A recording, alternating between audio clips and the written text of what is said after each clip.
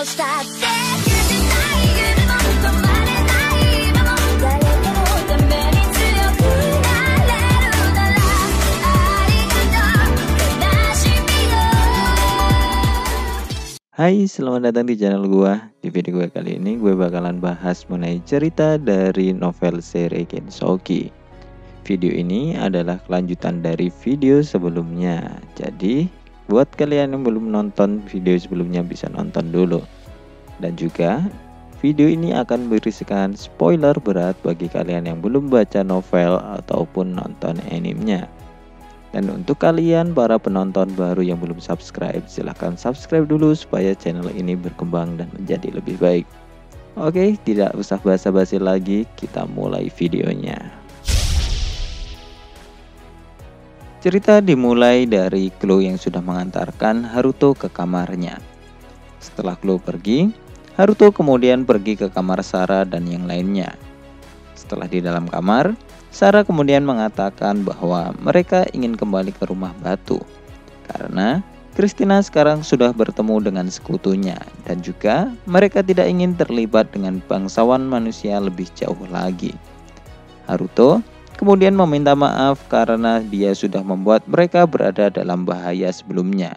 Dan kemudian Haruto mengatakan kepada mereka bahwa meskipun mereka mendapatkan perintah untuk menyembunyikan seni roh, namun jika keadaan mendesak, Haruto meminta mereka untuk menggunakan kekuatannya. Jadi, keselamatan mereka akan tetap terjaga. Sarah, Alma, dan Orpia lalu tidak mempermasalahkan tentang mereka yang dalam bahaya. Karena dalam perjalanan mereka bersama Haruto sebelumnya, mereka telah belajar banyak hal.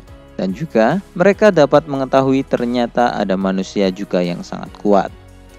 Dan juga Celia merupakan teman mereka.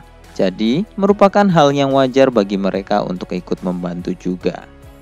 Sarah kemudian menanyakan tentang apa yang Haruto bicarakan bersama Liselot sebelumnya. Haruto lalu memberitahu mereka bahwa Liselot, Satsuki, dan dia akan mengadakan makan malam bersama. Dan Haruto ingin mengajak semua penghuni rumah batu untuk ikut. Namun, Sarah, Alma, dan Orpia kemudian menolak karena mereka sudah memutuskan untuk menjauhi para bangsawan manusia dan mereka harus tetap konsisten dalam menjalankan keputusan itu meskipun sebenarnya mereka ingin ikut juga. Namun, jika di masa depan Haruto mengajak untuk makan malam lagi, mereka akan menerimanya dan hal itu untuk alasan bersenang-senang saja. Lalu, mereka kemudian menyarankan Haruto untuk membawa Latifa, supaya Latifa memiliki pengalaman berinteraksi dengan manusia. Dan beberapa saat kemudian, ada suara ketukan pintu. Dan ternyata, Hiroki, Rowana, dan juga Flora sudah berada di luar pintu. Hiroki yang melihat Haruto kemudian meminta melakukan pertandingan dengannya. Mendengar ini, Haruto kemudian menanyakan alasan Hiroki. Lalu Hiroki mengatakan bahwa dia ingin mengukur kekuatan senjata ilahinya, yang mana senjatanya memiliki kekuatan yang sangat dahsyat. Jadi, Hiroki ingin memiliki lawan yang kuat, sehingga dia bisa mengeluarkan kekuatannya sampai batas tertentu. Flora yang di samping Hiroki kemudian meminta maaf kepada Haruto, dan mengatakan bahwa Haruto bisa menolak permintaan ini, karena mereka belum meminta izin kepada Christina. Mendengar ini, Haruto kemudian tahu bahwa hal ini hanyalah permintaan egois dari Hiroki. Namun, Haruto kemudian mengatakan bahwa dia mau menerima pertandingan. Tetapi, dengan syarat sudah mendapatkan persetujuan dari Putri Christina. Dan juga, pertarungan menggunakan kekuatan besar memerlukan lokasi bertarung yang tepat juga. Jadi, Haruto tidak mau terburu-buru. Haruto kemudian berpikir bahwa hal ini juga merupakan sebuah kesempatan baginya untuk mempelajari kekuatan tersembunyi dari senjata ilahi. Karena mungkin di masa depan Haruto ada kemungkinan untuk menghadapi seorang pahlawan juga. Haruto nampaknya tidak menghitung pertarungannya dengan Rui sebelumnya. Karena Haruto tahu bahwa Rui tidak berniat untuk bertarung secara serius dan tidak memiliki niat untuk membunuh Haruto. Melihat tanggapan Haruto, Hiroki lalu nampak agak kesal karena permintaannya tidak langsung diterima. Namun, karena dia dalam posisi yang tidak bisa memaksakan kehendaknya, dia akhirnya mau tidak mau harus meminta izin ke Christina dulu. Dan pada malam harinya, Haruto kemudian dipanggil ke ruangan Christina. Di dalam ruangan itu hanya ada tiga orang saja, yaitu Haruto, Christina, dan juga Flora. Christina kemudian membicarakan tentang latihan pertarungan melawan Hiroki dan bertanya apakah Haruto benar-benar akan menerimanya. Haruto lalu menjawab bahwa dia mau melakukannya karena itu adalah keputusannya sendiri. Dan lalu Haruto kemudian menanyakan tentang apa yang membuat Christina agak kelihatan khawatir saat ini. Apakah mungkin Christina ingin Haruto mengalah dalam pertarungan ini? Namun, Christina malah menjawab bahwa dia ingin Haruto untuk mengalahkan Hiroki. Christina tahu bahwa Hiroki sangat sombong dan hal itu akan merugikan semua orang. Jadi, karena itulah Christina kemudian meminta Haruto untuk mengalahkan Hiroki. Saat Hiroki menggunakan kekuatan penuh dari senjata ilahinya. Jadi, Hiroki tidak akan bisa bersikap sombong lagi. Lalu, setelah beberapa obrolan, Haruto kemudian menyetujui permintaan Christina. Dan setelah itu, Haruto kemudian pergi. Setelah Haruto pergi, Christina kemudian berbicara berdua dengan Flora. Lalu, Christina kemudian mencoba untuk meminta Flora mengatakan apa yang sedang dia pikirkan. Namun, nampaknya Flora masih terus diam. Dan lalu, beberapa saat kemudian, Flora kemudian menanyakan tentang perjalanan Christina sebelumnya. Namun, sebenarnya pertanyaan ini dikatakan Flora hanya untuk mengetahui tentang Haruto. Christina kemudian menyadari bahwa Flora nampaknya mencurigai Haruto dan mulai curiga tentang siapa Haruto sebenarnya seperti dirinya. Christina kemudian menyuruh Flora untuk bercerita dan juga curhat kepadanya. Karena alasan Christina datang ke Rodania bukan hanya untuk kerajaan, namun juga untuk tetap menjaga adiknya. Flora kemudian memeluk Christina dan kemudian mereka berakhir dengan tidur bersama. Sementara itu, setelah Haruto keluar dari kamar Christina, dia saat ini memasuki kamar Celia dan yang lainnya. Dan lalu memberitahukan mereka bahwa pertarungan dengan Hiroki akan dilakukan besok. Celia lalu mengatakan bahwa dia tidak ingin melihat Haruto terluka. Namun, Haruto kemudian mengatakan bahwa hal itu juga berlaku kepada mereka. Karena Haruto tidak ingin melihat Celia dan Orpia terluka lagi. Dan beberapa saat kemudian, Aisyah kemudian muncul menggunakan wujud humanoidnya. Aisyah kemudian menanyakan kabar mereka. Karena Aisyah juga tahu mengenai pertempuran sebelumnya. Dan juga nampaknya Miharu dan Latifa merasa khawatir juga karena belum mendapatkan kabar sampai saat ini. Sarah kemudian mengatakan bahwa mereka baik-baik saja dan mereka akan pergi ke kota Amande besok, lalu menginap selama sepalam sebelum pergi lagi ke Rodania. Namun, Sarah, Alma, dan Orpia akan kembali ke rumah batu setelah dari kota Amande dan tidak ikut menuju ke Rodania. Kemudian, Aisyah lalu menawarkan untuk berganti posisi dan dia akan menjaga Celia dalam bentuk roh karena Sarah dan yang lainnya akan kembali ke rumah batu untuk menjaga Miharu dan Latifa. Haruto kemudian menerima tawaran itu dan kemudian Aisyah kembali ke rumah batu untuk memberitahukan keadaan Haruto dan yang lainnya ke Miharu dan Latifa. Besok paginya, Haruto dan yang lainnya kemudian pergi ke kota Amande menggunakan kapal terbang. Namun, sebelum tiba di kota, mereka turun ke hutan sebelah danau untuk melakukan pertarungan antara Haruto dan Hiroki. Orang-orang yang menonton berada cukup jauh dari tempat mereka berdua bertarung. Dan kali ini, Arya akan menjadi hakim pertarungan mereka. Sebelum pertandingan, Hiroki mengatakan bahwa Haruto bisa menyerah dan lari jika dia takut pada serangan miliknya. Namun, Haruto nampaknya memberikan tanggapan masa bodoh amat yang mana membuat Hiroki menjadi kesal. Dan meskipun jumlah penonton sedikit, Hiroki kemudian tetap berencana untuk membuat Haruto menjadi tanpa menyedihkan dan menunjukkan itu ke para penonton. Setelah menjaga jarak, Arya kemudian memberikan sinyal untuk memulai pertandingan. Hiroki kemudian langsung mengangkat pedang ilahinya dan meneriakkan Yamata no Orochi. Yang lalu sejumlah besar air yang membentuk lima arus yang menyerupai naga kemudian muncul. Hiroki sebenarnya nampak tidak senang karena yang muncul hanyalah lima naga. Karena seharusnya Hiroki mengeluarkan delapan naga. Namun setelah berpikir, Hiroki kemudian menganggap bahwa hal ini akan cukup untuk mengalahkan Haruto. Dan lalu, saat Hiroki melihat Haruto tidak lari, Hiroki kemudian mencibir Haruto bahwa dia adalah orang yang bodoh.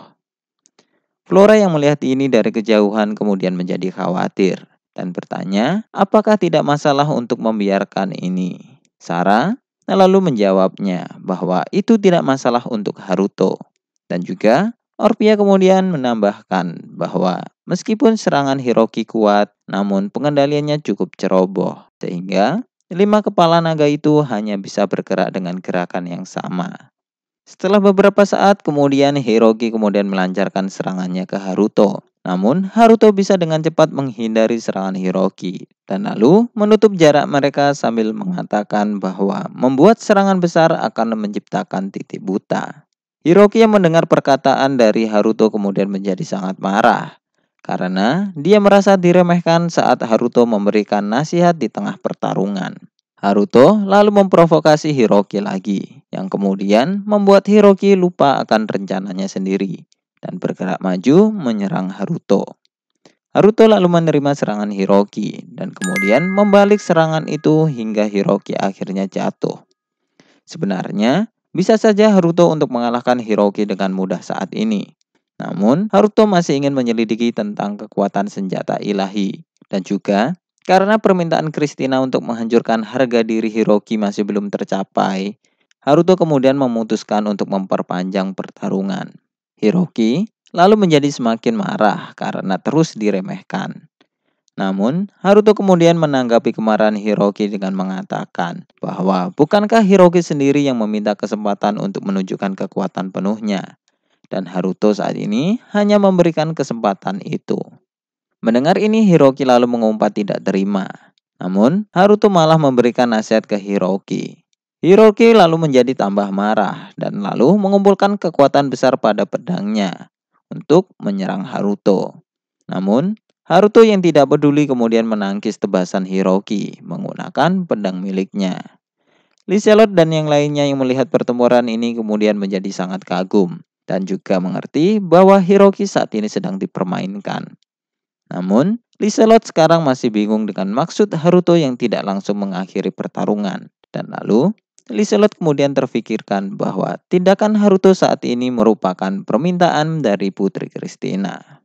Lalu, Hiroki yang sedang mengamuk terus menghujankan serangannya ke Haruto, meskipun itu tidak berguna. Haruto kemudian mengevaluasi serangan Hiroki, meskipun dia tidak terlalu tertarik. Dan lalu, Haruto kemudian menarik kesimpulan bahwa Hiroki benar-benar amatir dan masih belum bisa mengeluarkan potensi sebenarnya dari pedang ilahinya.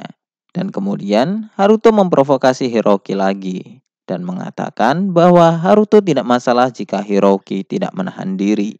Dan Haruto juga mengatakan bahwa level Hiroki masih belum masalah bagi Haruto. Hiroki yang mendengar ini kemudian marah dan tanpa berpikir panjang langsung menyalurkan kekuatannya ke pedangnya dan menyerang Haruto saat itu juga.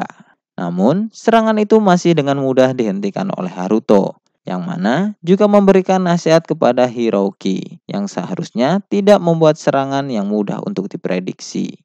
Dan Haruto juga mengatakan bahwa apa yang dilakukan Hiroki saat ini bukanlah penggunaan ilmu pedang. Hiroki kemudian berjuang mati-matian untuk tidak kalah, karena saat ini dia sekarang sedang dilihat oleh orang lain. Hiroki lalu mundur ke belakang untuk menciptakan jarak, dan lalu mengeluarkan kekuatan besar untuk serangan Yamata no Orochinya. Dan kali ini ada tujuh naga yang muncul. Haruto sempat bingung dengan penamaan Yamata no Orochi karena Haruto berpikir bahwa seharusnya ada delapan kepala. Dan lalu Haruto kemudian menyimpulkan bahwa mungkin Hiroki masih terlalu lemah untuk mengeluarkan kekuatan aslinya. Hiroki lalu menyerang Haruto menggunakan serangan naganya. Dan hal yang mengejutkan hanyalah naga itu kemudian bisa menyemburkan serangan bola air yang kuat. Yang mana serangan itu masih bisa dihindari oleh Haruto. Haruto kemudian menaiki salah satu naga Hiroki dan menyerangnya menggunakan serangan anginnya, yang mana kemudian serangan itu membelah naga menjadi dua dan juga menciptakan ledakan besar. Dan lalu Hiroki kemudian memalingkan wajahnya supaya tidak ada air yang masuk ke dalam matanya.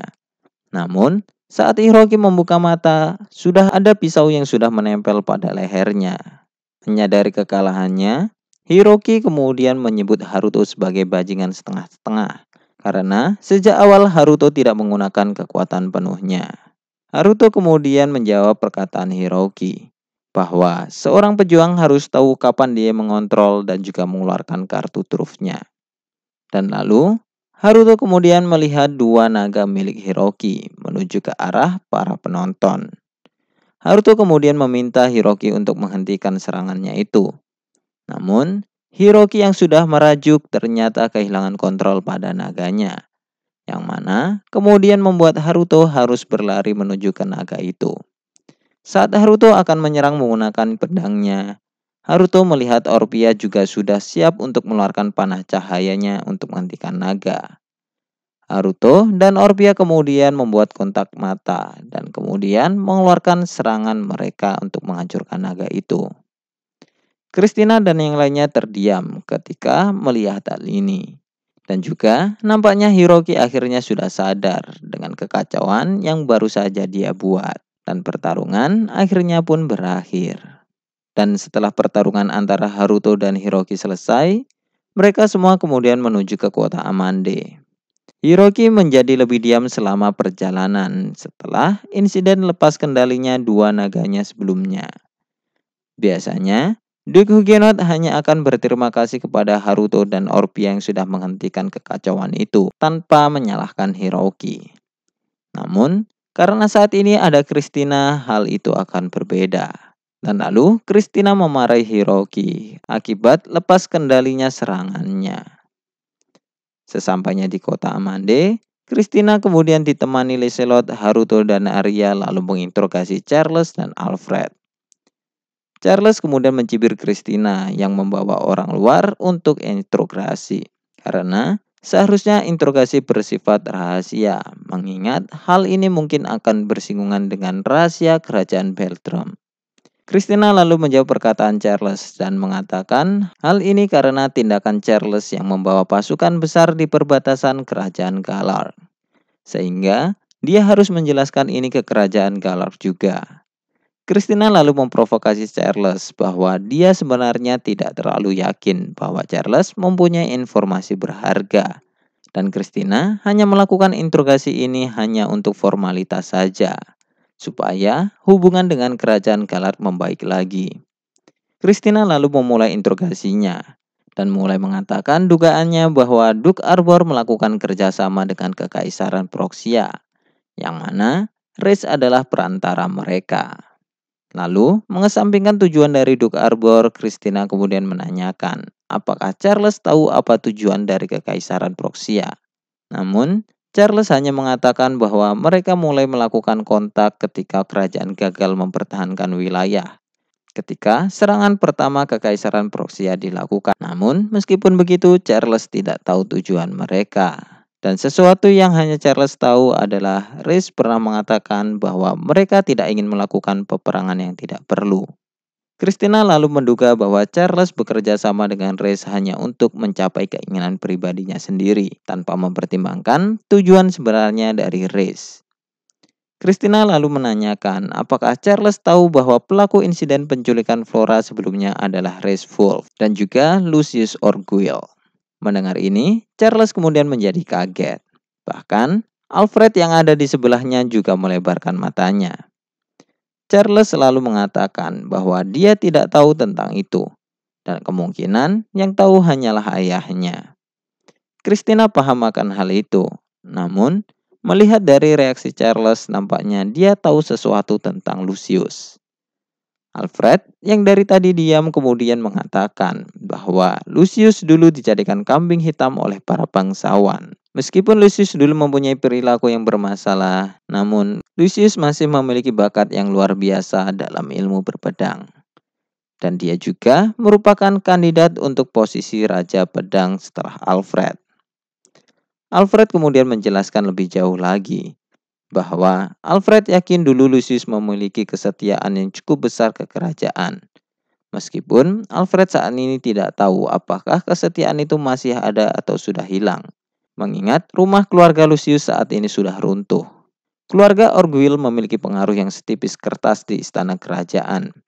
Dan nasib keluarga itu bergantung pada Lucius.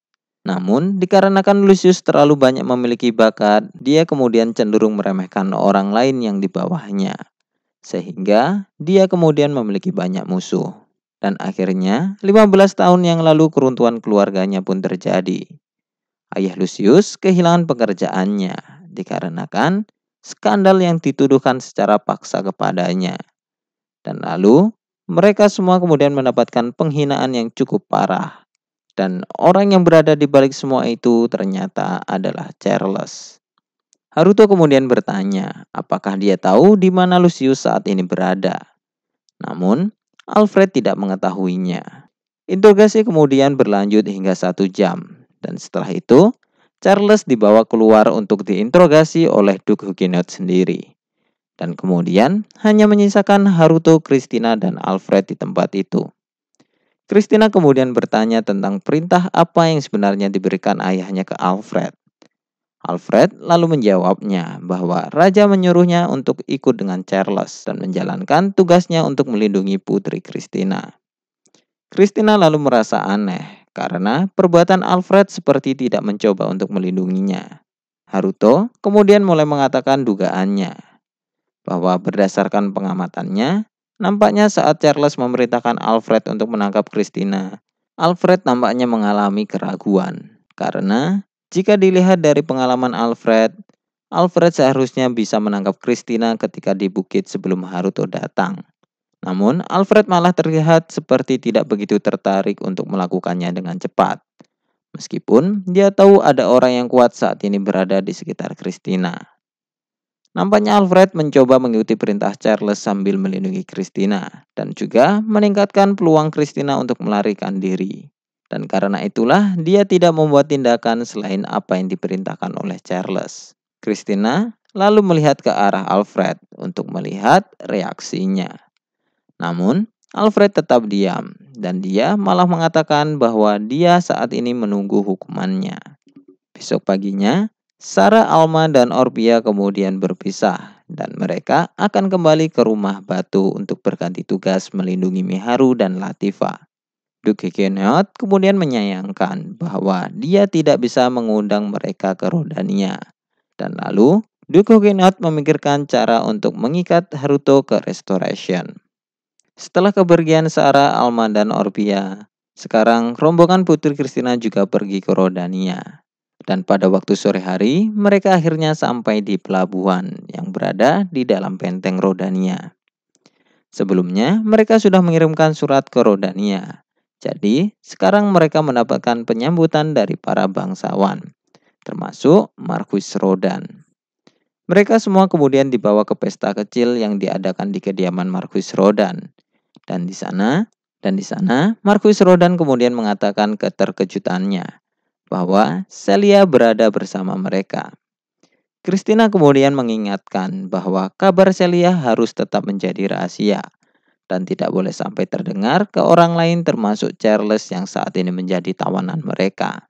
Lalu, sementara itu di sisi lain, Kota dan Rei saat ini sedang menikmati hidangan mewah, sambil melihat ke arah Haruto yang saat ini dikelilingi wanita cantik.